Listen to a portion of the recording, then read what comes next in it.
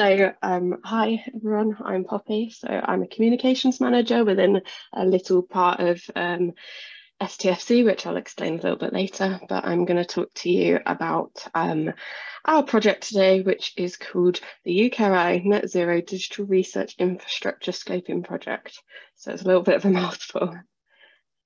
So um, some of you might be wondering what digital research infrastructure is. So I'm going to explain what that is. I'm going to talk about our ambition as a project and what we're trying to do. I'll explain a little bit about who we are, how we fit in, um, and the progress we've made so far. And then I'll go over some of our next steps and some areas that I think you can help us with. Okay, so what is digital research infrastructure? So um, it's acronymed to DRI, so I apologise in advance if I slip into the acronym. I'm going to try and keep saying it in full, but it's a, a, bit of a mouthful. So basically, it's to do with um, any computing infrastructure which is used for research. So this definition on the screen comes from the UKRI website.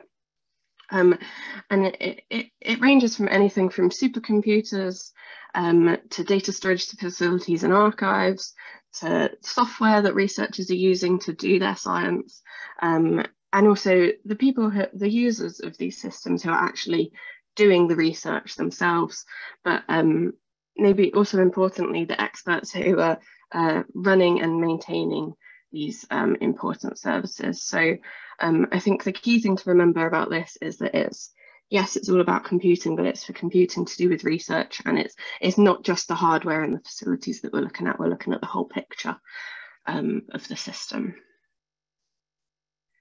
Okay, so our project um, has a very vast scope. So we are looking across all of UKRI. So we're looking at all of the digital research infrastructure, which is owned or majority funded.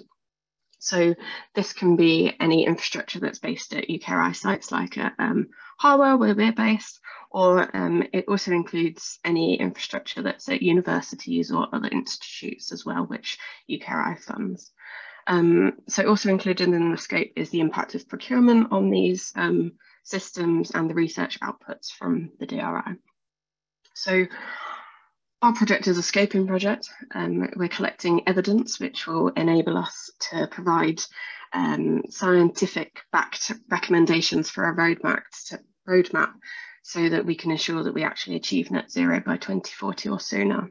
Um, so the third point on this screen is quite an important one. So yes, we're talking about computing and yes, that's seen as a technical thing.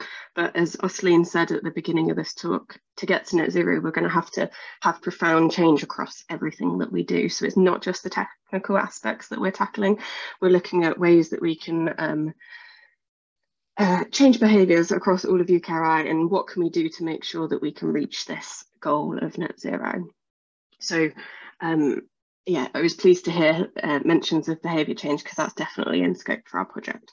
So it, it's vast and it's big. So this slide is just um, to, to, reiterate what I've just said really. So the ambition of the project is to collect evidence to inform future investments decisions, for, specifically for digital research infrastructure. Um, and then this will allow um, UKRI and its community to have an outline roadmap which will actually help us to achieve getting to net zero. And then finally, we want to enable UKRI to play a positive and leading role in both the national and global transition to a sustainable economy. So we, we want to be sharing the knowledge that we get from this with others who may want to do the same thing. Okay, so who are we? So um, you might be able to see from my name that I'm based within STFC. So I work for a team which is the Centre for Environmental Data Analysis. And although we sit within STFC, um, we do most of our work on behalf of NERC. So we've got an environmental remit and a computing remit, which is I think why we, we've got the task of this project. Um, so the, the work is being um, undertaken via our partnership with the National Centre for Atmospheric Science, which is one of NERC's research centres. So um, a little bit about the governance of the project. So we've got a science advisory board and a steering committee with lots of um, experts on it who are helping us uh, work out the best ways to get uh, the most efficient and effective evidence that we need to, to, to make the roadmap. And then finally, we've got lots of um, project partners from different universities and different UKRI councils that are undertaking some of the work on our behalf. So all of the faces on the right hand side of the screen are our core team. There's too many people in the wider team for me to add everyone's pictures on, but this is the core team that um, is coordinating the project. Okay, so I just mentioned project partners. I just wanted to give you a bit of a, uh, an idea of who we're working with. So it's a bit of a logo soup, I'm afraid, but um, yeah, we've got about 18 project partners and counting at the moment from various universities in different parts of UKRI. Um, we've recently published a blog post on our website, so that link is there. So if you want to know more about the details about what work the partners are doing, then you can find that there. I'm not going to go into the detail of it specifically what we're doing today because I don't have time. Um, but yeah, go find out more at that website. So how are we collecting this evidence? As a really a really broad overview of what we're doing is um, these different parts of my mind map. So um, these different activities will collect evidence to make sure that we can provide recommendations for the roadmap so that we can achieve net zero. So some of them are quite detailed and collecting um, scientific evidence, so from the literature survey, for example, and in-depth case studies of um, some key uh, infrastructures like supercomputers. But an also really important aspect of the project is uh, about stakeholder, stakeholder engagement and gathering feedback and making sure we're building a community who's buying into the to the changes that we're going to have to make in the future. So there's lots of different areas of the project, which is why there's a big team and lots of partners helping us to achieve that. So um, a timeline for our outputs um, is this. It's quite a short project. So we're currently in kind of the, the pale grey phase where we're collecting the evidence via different mechanisms. So the, the top rows show what the kind of the literature survey that we're putting together, which will form um, the evidence review as part of an interim report, which is due at the end of this month. And then other evidence is being um, undertaken by our project partners, and they will have some preliminary results for us um, by the end of this year. So we hope to be able to share some initial findings from that early next year. And then all of these different bits of evidence that we're collecting will feed into the final report, which will have the final recommendations that, that we suggest for the roadmap.